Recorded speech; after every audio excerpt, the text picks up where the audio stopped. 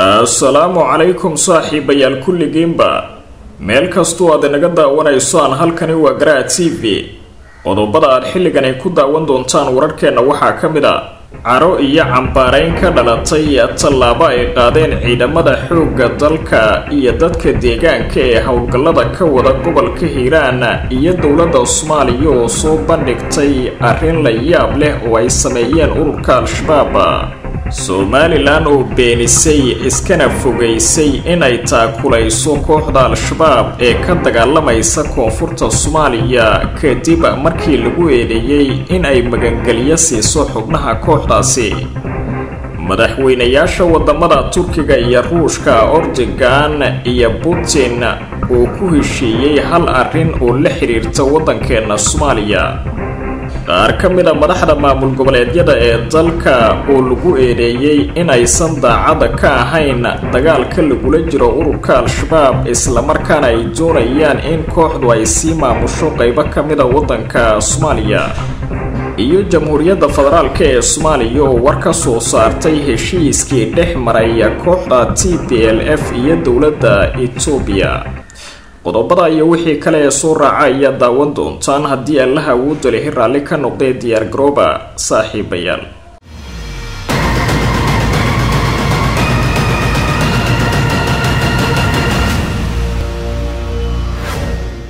isku soo laabashaha bon mar kale daawadayaal halkani.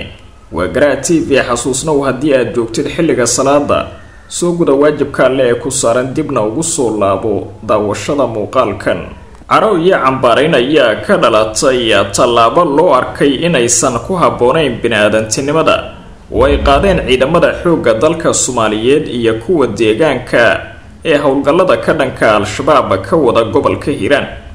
qaar ka mid a mas'uuliyiinta iyo bulshada soomaaliyeed iyo weliba hay'adaha caalamiga ayaa ku tilmaamay ficil aan u wanaagsanayn bini-aadantinimada iyo dhaqanka suuban kadib markii ciidamada xoogga dalka soomaaliyeed iyo dadka deegaanka ee iskaashanaya ay ciyaar ku dulqabsadeen xubno ka tirsan ururka al-shabaab oo dagaal lagu laayay. Fiidiyow lagu baahiyey baraha bulshada ayaa muujinaya dadka deegaanka iyo ciidamada oo wata tuutaha islamarkaana ciyaar dhaqameeda ku dulqabsaday meydadka xubno badan oo ka tirsan ururka al-shabaab kuwaasi oo dhowaan lagu laayay dagaal ka dhacay deegaanka ceel hareeri ee gobolka hiiraan.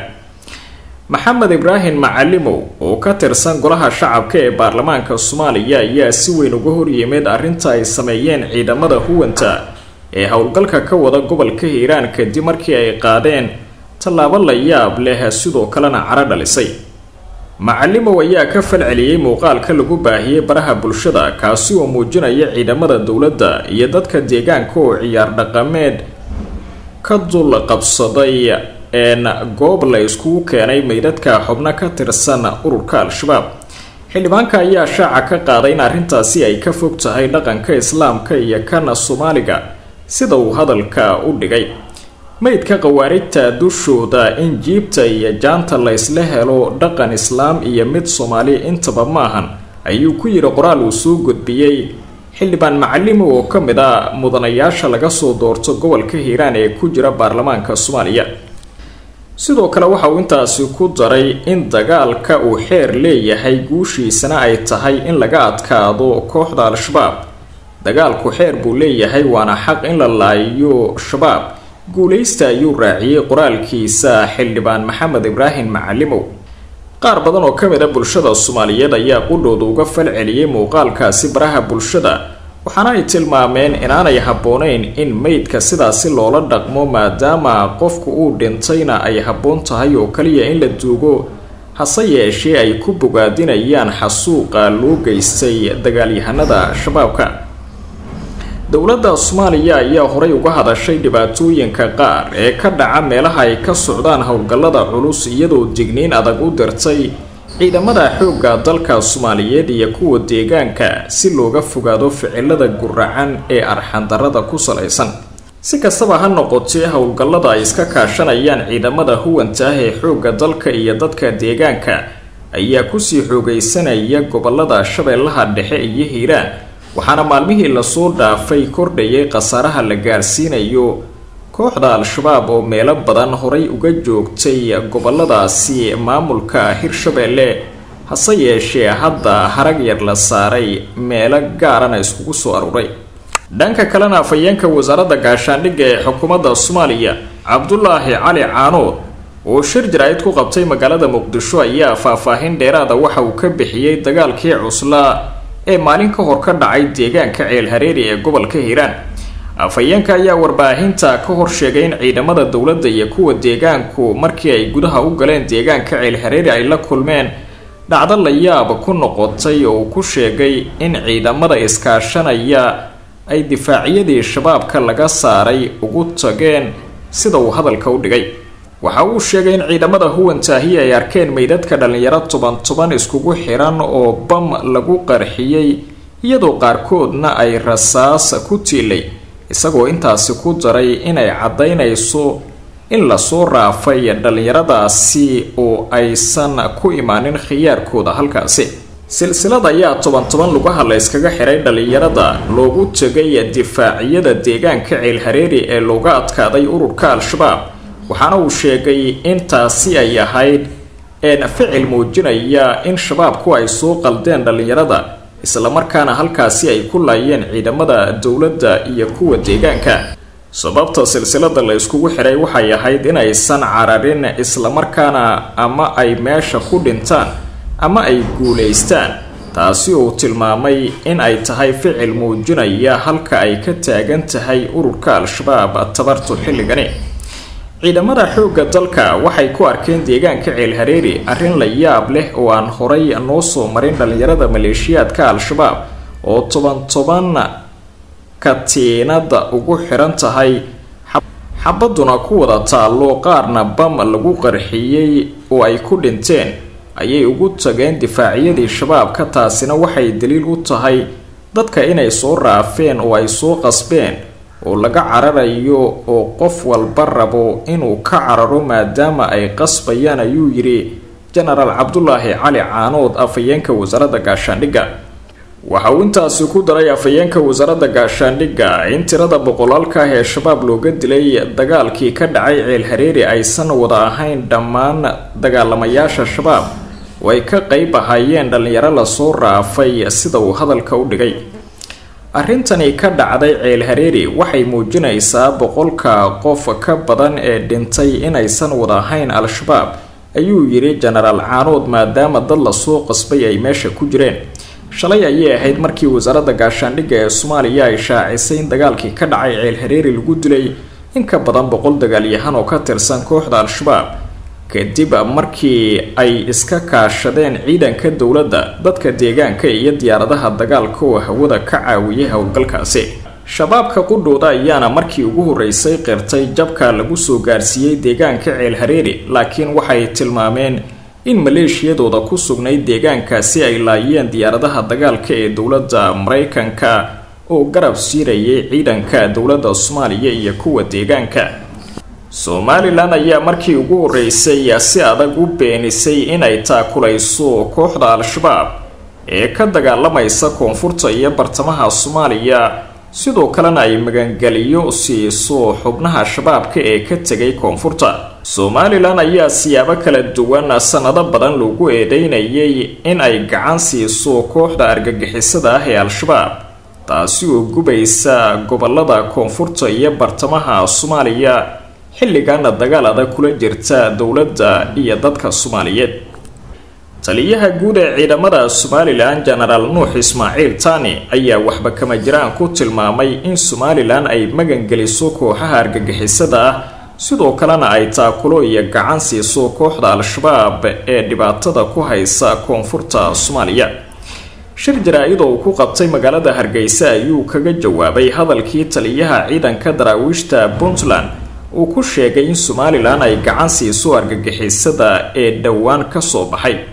Taliyaha guud ee ciidanka somalilan ayaana hadalkaasi iska fogeeyay waxaana uu sheegay inaanu jirin wax xiriira ama cilaaqaad ah oo ka dhexeeya somalilan iyo kooxda al-shabaab ee argagixisada loo aqoonsan yahay dhinaca kalena taliyaha ciidanka somalilan ayaa waxa uu sheegay in haddii ay jirto cid magan gelisa argagixisada ay tahay puntland isagaoo tix raacay liis dhowaan ka soo baxay dowladda mareykanka oo lagu shaaciyey xubno shabaab ah oo la saaray xayiraado horleh taliyaha ciidamada somalilan ayaa waxa uu sheegay in liiskii ugu dambeeyey shakhsiyaadkii dowladda mareykanku ay ku tilmaamtay argagixisada inay dhammaantood ka soo jeedaan deegaanada puntland islamarkaana ay ku sugan yihiin magaalooyinka maamulkaasi. Puntland ayaa marar kala duwan somalilan ku eedeysay inay xiriir iyo wada shaqeyn la leeyihiin kooxaha argagixisada balse somalilan markasta waa ay beeninaysay arrintaasi waxaana ay sheegtaa inaanay jirin wax cilaaqaad ah oo ka dhexeeya iyada iyo kooxaha argagixisada puntland oo kaliya ma ahana dhinacyo kala duwan ayaa ku eedeeya somalilan inay aada ugu dabacsan tahay dhanka argagixisada taasi oo loo qaadan karo inay raalli ka tahay somalilan waxaa ka socda koonfurta soomaaliya amaba ay ku gacan siiso kooxda al-shabaab. Dadka qaarkii ayaa fikradahooda waxay ku soo koobaan oo kaliya in hogaamiyaasha ururka al-shabaab een kuwoodii ugu caansanaa ay ka soo jeedeen somalilan sida axmed godane oo kaalin xoogan ku lahaa aas-aaskii iyo abaabulkii kooxda al-shabaab ee ku sugan koonfurta iyo bartamaha soomaaliya. Hase yeeshee shaqsi ka soo jeeda somalilan inuu hogaamiye ka noqdo kooxda al-shabaab laguma dabaqi karo xiriir ay la leeyihiin somalilan oo dhan kooxdaasi waxyaabaha kale ay cuskanayaan dhinacyada somalilan u saarinaya inay xiriir la leedahay kooxaha argagixisada ah ee jooga koonfurta soomaaliya. Waxaa ka mid ah hadal uu bilo ka hor sheegay boqor buurmadow oo ka mid ah waxgaradka ugu caansan somalilan. Sidoo kalena looga yaqaano boqor buurmadow dhulka somalilan. Kaasi oo ku yidhi koonfurta soomaaliya waxaa ka dhisan laba dowladood mid innaga haysano oo ula jeeday beesha dhexe ee somalilan een tan kalena waxaa maamula ayuu yidhi dowladda federaalk ee soomaaliya waxaana dowladdaasi ula jeeday ururka al-shabaab oo uu isku tiirinayay in hogaamiyaashoodu ay ka soo jeedaan waqooyiga soomaaliya ee somalilan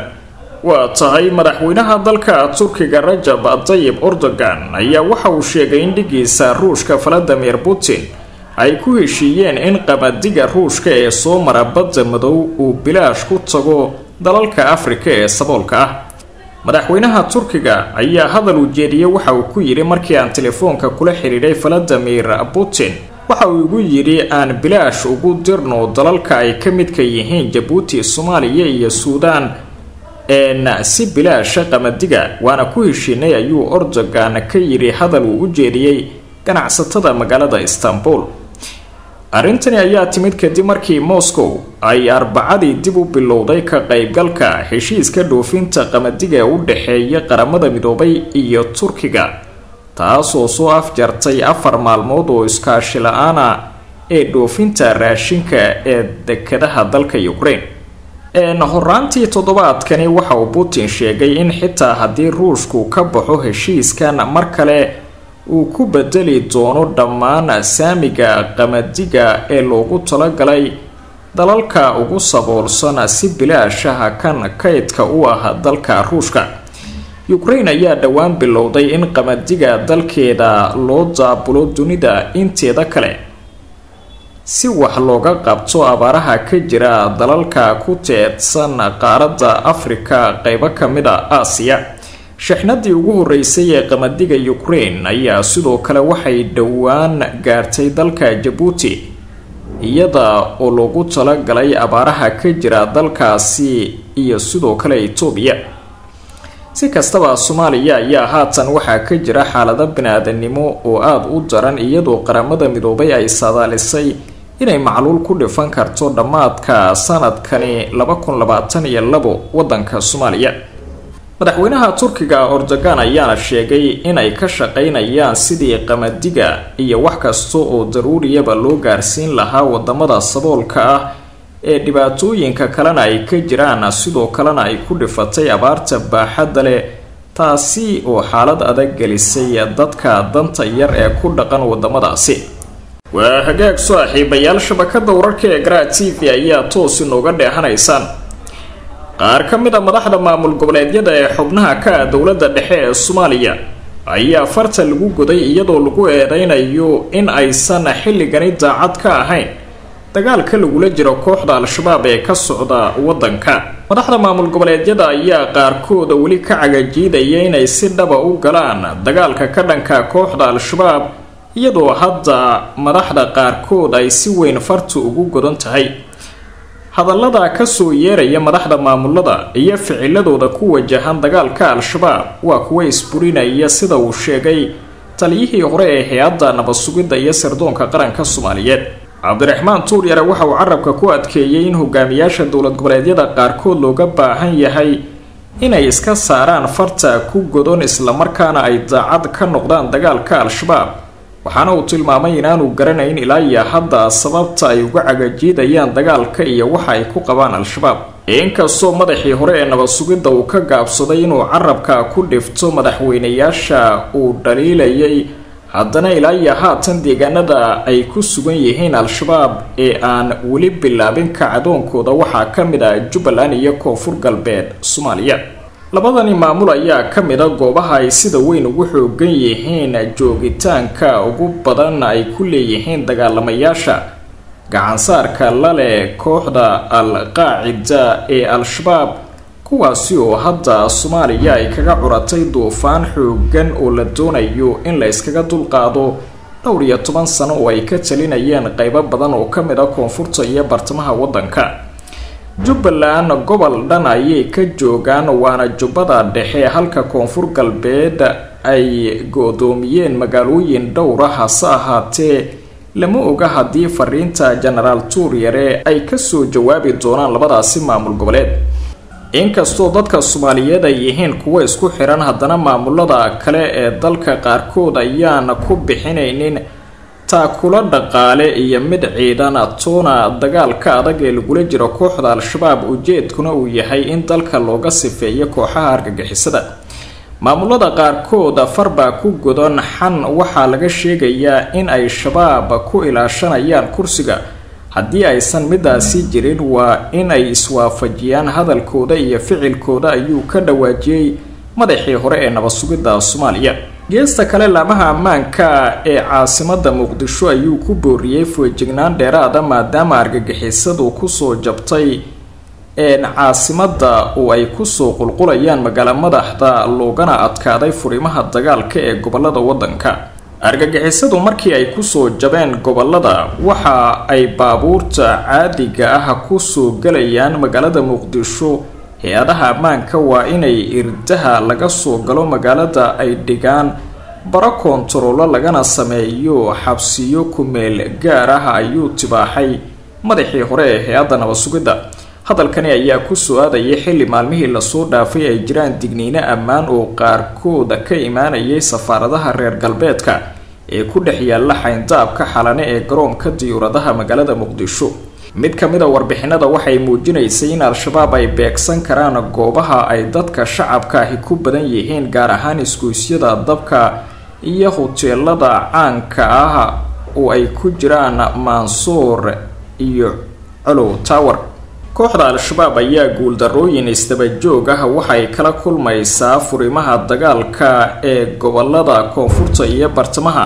oo xilligani ay kula dagaalamayaan ciidamada xoogga dalka soomaaliyeed iyo dadka deegaanka. Taa beddelkeedana si ay kooxdu weli u sii muujiso inay tahay awood jirta waxay door bidaysaa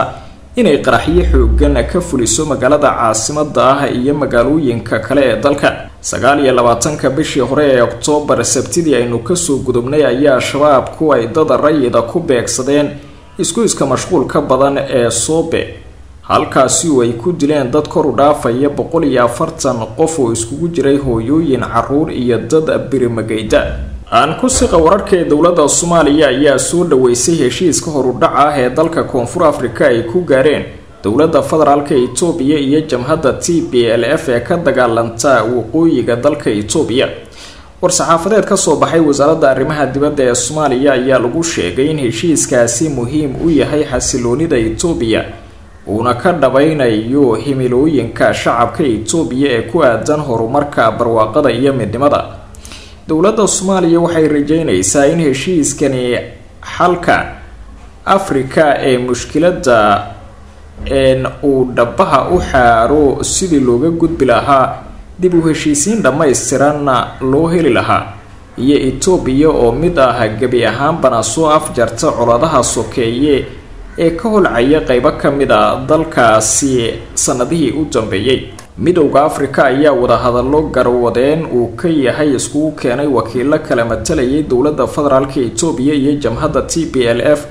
waxa ayna labada dhinac gaareen heshiis xal loogu raadinayo colaada dalkaasi ka aloosan. Wararkii ugu dambeeya ee soomaalida waa naga inta nabad iyo warsan